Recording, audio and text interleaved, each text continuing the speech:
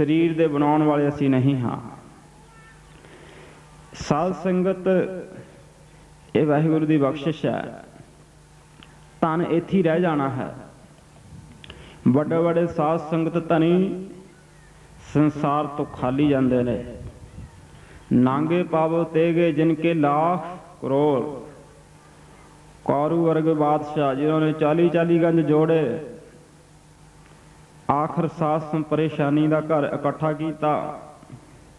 ਸਿਮਰਨ ਤੋਂ ਬਿਨਾ, ਭਜਨ ਤੋਂ ਬਿਨਾ ਸਭ ਪਰੇਸ਼ਾਨੀ ਹੀ ਹੈ ਬੋਲੋ। ਸਤਨਾਮ ਸ੍ਰੀ ਵਾਹਿਗੁਰੂ ਆਖਰ ਇੱਕ ਸੂਈ ਵੀ ਨਾਲ ਨਾ ਲੈ ਜਾ ਸਕੇ।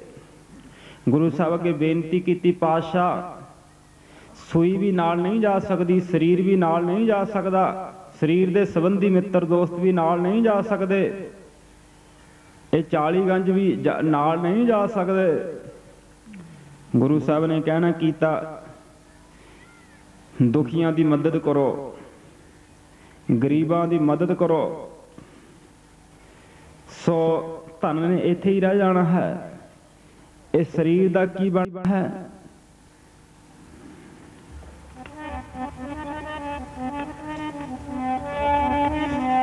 ਇਸ ਤਨ ਨੂੰ ਰੱਖ ਕੇ ਕੀ ਕਰਨਾ ਸਾਨੂੰ ਰੱਖ ਕੇ ਕੀ ਕਰਨਾ ਹੈ?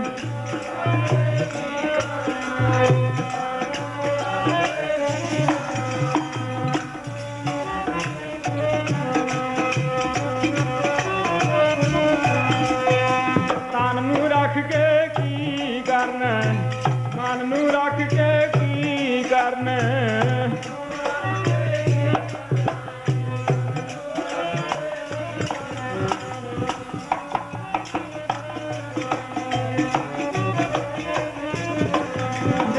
ਜਿਹੜਾ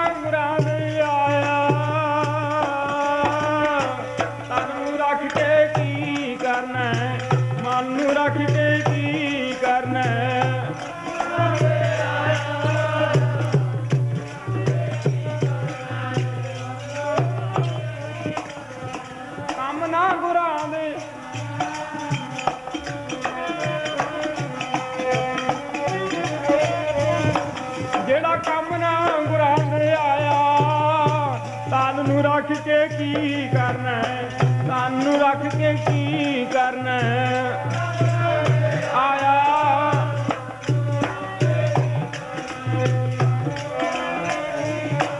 ਜਿਹੜਾ ਕੰਮ ਨਾ ਗੁਰਾਂ ਦੇ,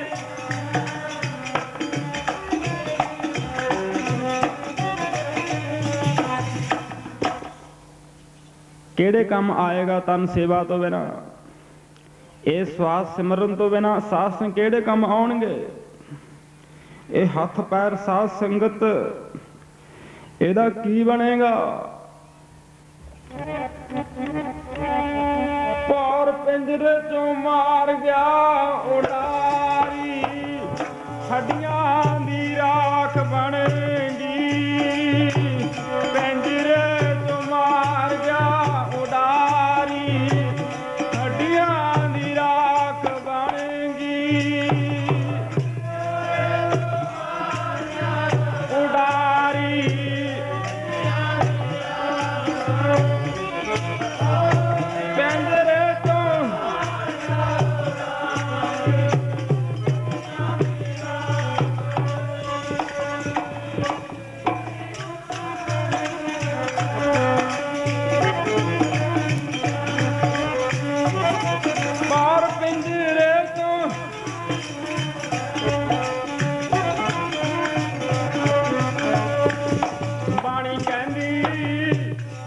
ਹੱਡੀਆਂ ਦੀ ਰਾਖ ਬਣੇਗੀ। ਸੋਚ ਲੋ ਹੱਡੀਆਂ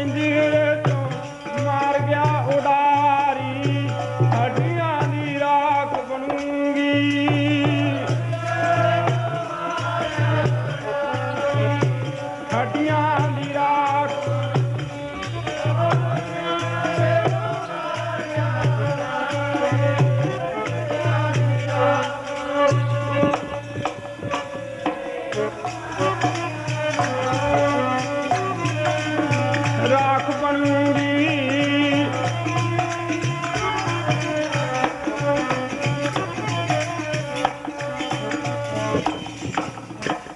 ਕਬੀਰ ਗਰਵ ਨਾ ਕੀਜੀਐ ਦੇਹੀ ਦੇਖ ਸਰੰਗ। ਆਜ ਕਾਲ ਤਜ ਜਾਹੋਂਗੇ, ਜਿਉ ਕਾਚਰੀ ਭਯੰਗ। ਸਾਹ ਸੀ ਪਾਣੀ ਤੋਂ ਬੂੰਦ ਬਾਣੀ ਦੀ ਬੂੰਦ ਤੋਂ ਲੈ ਕੇ ਸਵਾਦ ਦੀ ਮੁਠੀ ਤੇ ਸਾਸ ਗੱਲ ਮੁੱਕ ਜਾਣੀ ਹੈ ਬੋਲੋ। ਪਰੰਤੂ ਗੁਰਮਤ ਇੱਥੇ ਗੱਲ ਨਹੀਂ ਮੁਕਾਉਂਦੀ। ਸਾਧ ਸੰਗਤ ਗੁਰਮਤ ਕਹਿੰਦੀ ਹੈ, ਜ਼ਿੰਦਗੀ ਕਾਇਮ ਰਹਿੰਦੀ ਹੈ ਬੋਲੋ। ਸੋ ਇਹ ਸਰੀਰ ਦੀ ਗੱਲ ਹੈ। ਇਹ ਪੰਜ ਭੂਤਕ ਸਾਧ ਸਰੀਰ ਦੀ ਗੱਲ ਹੈ। ਸੋ ਆਪ ਜੀ ਸਰਵਣ ਕਰਦੇ ਸੀ, ਇਹ ਸਰੀਰ ਦਾ ਕੀ ਬਣਨਾ ਹੈ? ਬਾਣੀ ਦੱਸਦੀ ਹੈ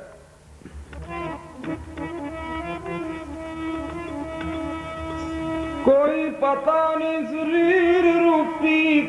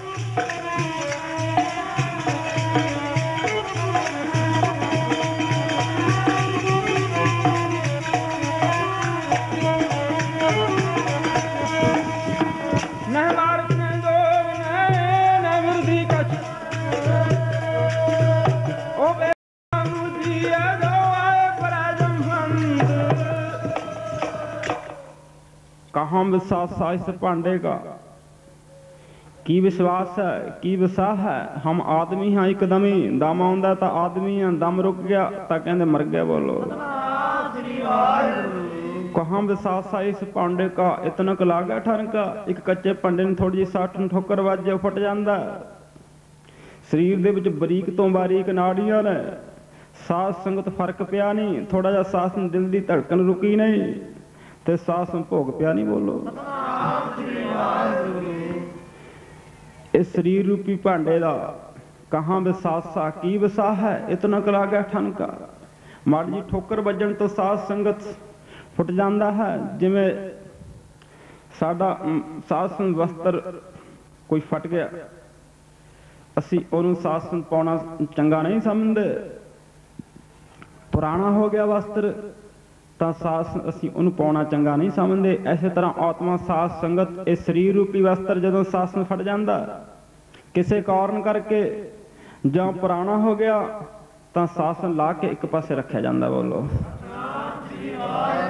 ਤਾਂ ਨਵਾਂ ਸਰੀਰ ਸਾਸ, ਨਵਾਂ ਵਸਤਰ ਸਾਸ ਆਤਮਾ ਧਾਰਨ ਕਰ ਲੈਂਦੀ ਹੈ ਬੋਲੋ।